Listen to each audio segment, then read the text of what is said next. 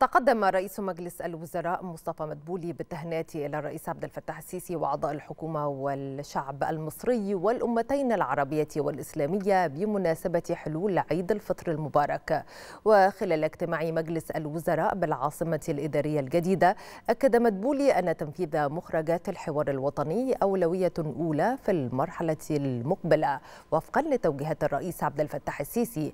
وتمت الإشارة خلال الاجتماع إلى انخفاض الرقم الرقم القياسي العام السنوي لأسعار المستهلكين لإجمالي الجمهورية بنسبة 3% تقريبا خلال شهر مارس نتيجة للخطوات والإجراءات التي اتخذتها الحكومة مؤخرا بالتعاون مع القطاع المصرفي لتوفير العملة الأجنبية.